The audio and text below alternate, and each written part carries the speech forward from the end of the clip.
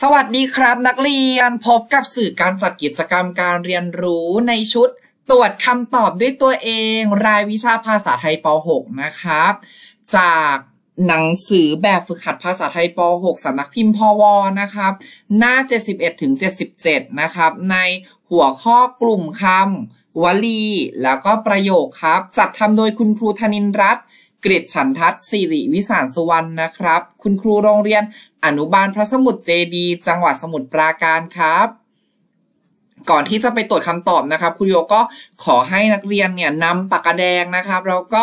นำหนังสือแบบฝึกหัดเนี่ยมาเลยนะครับ แล้วก็เปิดไปที่หน้า 71 ได้เลยนะ อ่าเรามาที่หน้า 71 กันแล้วนะครับ คำสั่งก็คือให้นักเรียนเลือกกลุ่มคำหรือประโยคที่กำหนดเนี่ยไปเขียนให้ตรงกับภาพนั่นเองนะครับ ก็จะมีนะครับคำว่าคุณยายเล่านิทาน นกฝูงใหญ่ บนท้องฟ้านะครับ ดอกไม้นานาพันธุ์ในสวน นักเรียนเข้าแถวกันอย่างเป็นระเบียบ เด็กที่มีวินัยจะรู้จักเข้าคิวซื้ออาหารนะครับ มานะ หรือวีระเป็นผู้ชนะเลิศการแข่งขัน แพทย์รักษาผู้ป่วยซึ่งนอนอยู่บนเตียงนะครับพลอยและเพลินรีบวิ่งหลบฝนเข้าโรงเรียนนะครับ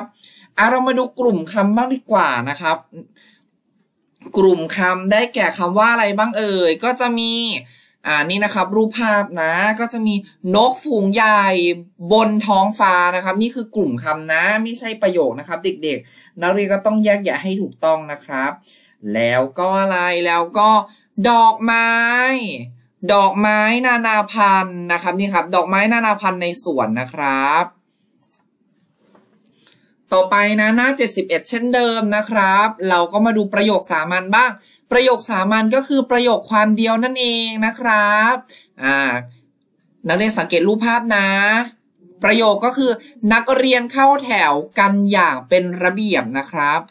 แล้วก็อีกรูปหนึ่งก็คือ คุณยายเล่านิทานนะครับ ต่อมาก็จะเป็นประโยคความรวมกันบ้างนะ ประโยคความรวมเลย ข้อความก็คือพลอยและเพลินรีบวิ่ง หลบฝนเข้าโรงเรียนนะครับ แล้วก็อีกประโยคประโยคนึงก็คือมานะ หรือวีระเป็นผู้ชนะเลิศการแข่งขันนะครับ ต่อไปก็จะเป็นหน้า 72 นะครับนะคุยโยไปเร็วไปหรือเปล่าเอ่ยหน้า 72 จะเป็นประโยคความซ้อนและประโยคความซ้อนนี่คือค่อนข้างยากเลยนะครับอ่า นะครับ อันนี้ก็คือเด็กที่มีวินัยจะรู้จักเข้าคิวซื้ออาหารนะครับ และอีกรูปหนึ่งก็คือแพทย์รักษาผู้ป่วยซึ่งนอนอยู่บนเตียงนะครับ ต่อไปก็จะเป็นข้อหนึ่งใหญ่นะครับ หน้า 73 นะครับคำสั่งก็คือให้นักเรียนจับคู่คำในแถวที่ 1กับแถวที่ 2 แล้วนำมาเขียนให้เป็นกลุ่มคำที่มีความหมายนะครับ อันนี้แถวที่ 1 ก็จะมีคาว่าสุนัข รำธารตำรวจปลาทองพริกชี้ฟ้านะครับ แล้วก็แถวที่ 2 ก็มีครีบสวย สีแดง ขนปุย จราจรใสสะอาด ไม่ยากเลยนะครับ เรามาเชื่อมคำที่เป็นกลุ่มคำกันก่อนนะคุยว่าไล่เลยนะ 1.1 สุนัขขนปุย 1.2 ลำธารใสสะอาด 1.3 ตำรวจจราจร 1.4 ปลาทองครีบสวยและ 1.5 พริกชี้ฟ้าสีแดงนั่นเองนะครับ ต่อไปก็จะไปที่ข้อ 2 ใหญ่หน้า 74 นะครับคำสั่งก็คือให้นักเรียนอ่านข้อความที่กำหนด แล้วระบุว่าเป็นกลุ่มคำหรือประโยคชนิดใดนะครับ ตัวอย่างก็คือข้าวเหนียวเป็นอาหารหลักของคนไทยภาคตะวันออกเฉียงเหนือ ลักษณะเป็นประโยคสามัญนนั่นเองนะครับมีใจความเดียวนะ ประโยคสามัญก็คือประโยคความรวมนั่นเองนะครับ ตามคลิปที่ ครูโยได้เคยสอนเอาไว้นะครับ เรามาดูข้อ 2.1 นะครับ รัฐมนตรีว่าการกระทรวงเกษตร และสหกรณ์พร้อมคณะ ลักษณะเป็นกลุ่มคำนะครับ กลุ่มคำเรียกอย่างหนึ่งว่าวลีนะครับ ข้อ 2.2 พ่อและแม่เป็นร่มโพร่มไทรของลูกนะครับ ก็คือเป็นลักษณะก็คือประโยคความรวมนั่นเองเพราะมีคาว่าและนักเรียนจำได้ไหมเอ่ยต่อไป 2.3 นะครับ แผ่นดินไหวส่วนใหญ่เกิดจากการเคลื่อนที่ของเปลือกโลกนะครับ ลักษณะเป็นประโยคสามัญก็คือประโยคความเดียวนั่นเองนะครับ 2.4 นะครับ ประเทศไทยมีการใช้โทรศัพท์ครั้งแรกในพุทธศักราช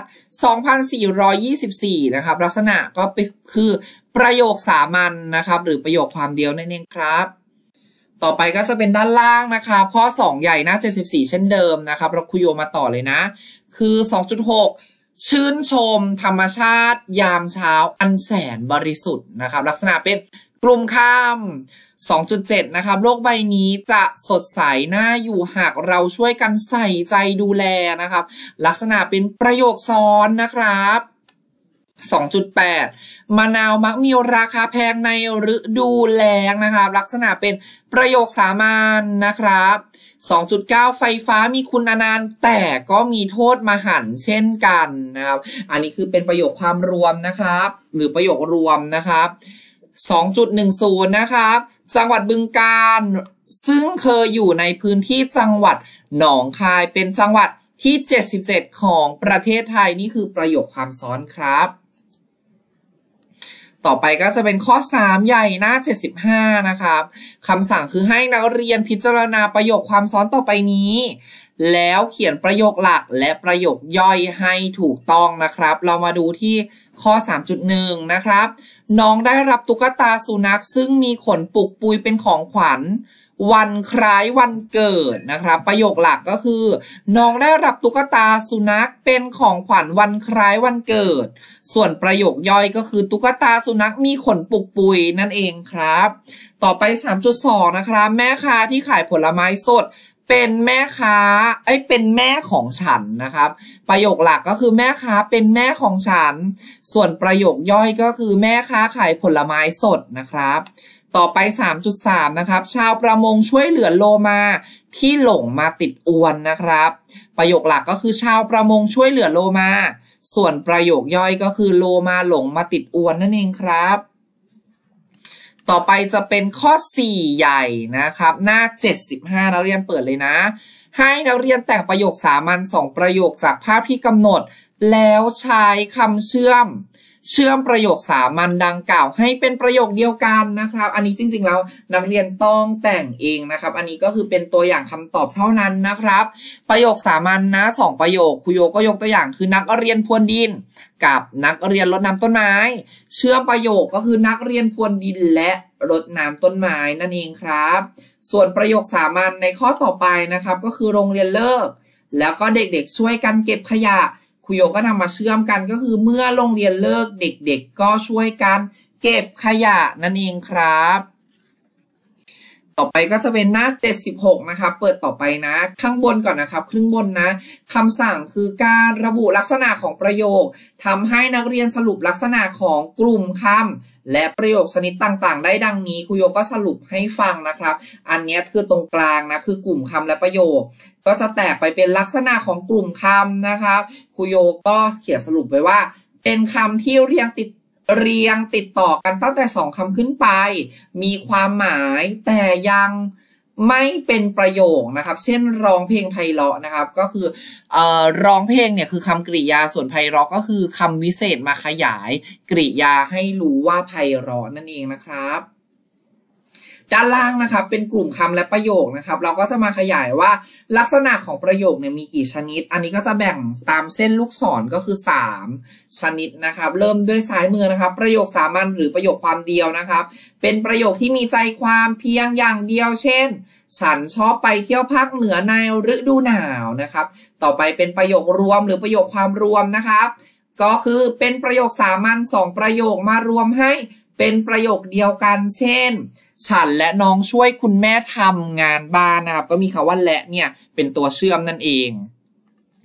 สุดท้ายนะครับก็คือประโยคซ้อนนะครับก็คือค่อนข้างยากนะครับ เป็นประโยคที่มีประโยคหลักและมีประโยคย่อยขยายคำในประโยคหลัก เช่น ฉันได้รับจดหมายฉบับหนึ่ง ซึ่งส่งมาจากแดนไกลนะครับ แล้วเรียนยังจำได้ไหมประโยคคำซ้อนก็จำได้แก่คาว่าที่ซึ่งอันผู้นะครับอันนี้ก็มีคาว่าซึ่งนะครับ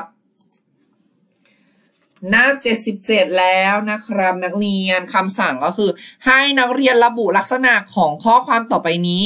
ว่าเป็นกลุ่มคำหรือประโยคชนิดใดนะครับครูโยก็เริ่มจากขวามือก่อนนะ แล้วก็จะไปบอกว่าซ้ายมือเนี่ยมันคืออะไรนะครับ เริ่มที่ข้อ1นะครับข้อ 1 เลย กรมพัฒนากรมพัฒนาพลังงานทดแทนและอนุรักษ์พลังงานนะครับ อันนี้ก็คือกลุ่มคำนะ อ่าไม่ใช่ว่าเจอคำว่าแลก็คือประโยครวมนะ ไม่ใช่ อันนี้คือกลุ่มคำนะครับ ต่อมา 2 คือพี่ชอบเล่นเทนนิสแต่น้องชอบเล่นปิงปอง อันนี้คือประโยครวมนะครับ มีคำว่าแต่นะครับ ฉันชอบไปเที่ยวทะเลในหน้าร้อนนี่คือประโยคสามัญหรือประโยคความเดียวนั่นเองข้อ4นะครับนักเรียนควรแปรงฟันหลังจากรับประทานอาหารนี่คือประโยคความซ้อนนะครับ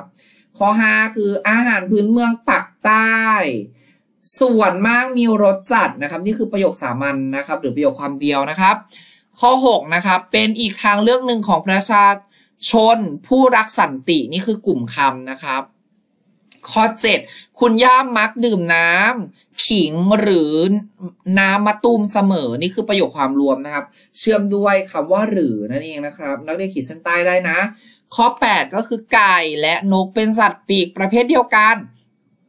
มีคำว่าแหละนะครับ ก็คือประโยคความรวมไปเลย ข้อ 9 นะครับ ต้มยำกุ้งเป็นอาหารไทยที่ชาวต่างประเทศ ต่างรู้จักกันดีนะครับ นี่คือประโยคซ้อนนะ หรือประโยคความซ้อนนะครับ ข้อ 10 ข้อสุดท้ายนะครับ วิถีชีวิตของคนไทยในสมัยก่อน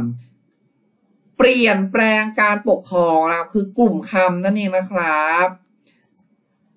ก่อนจากกันนะครับครูโยก็มีข้อคิดดีๆ ที่จะฝากนักเรียนเช่นเคยนะครับ เกิดเป็นคนไทย ใช้ภาษาไทย ให้ถูกต้องนะครับ วันนี้ครูโยขอลาไปก่อน แล้วพบกับครูโยในคลิปหน้านะครับ สวัสดีครับเด็กๆ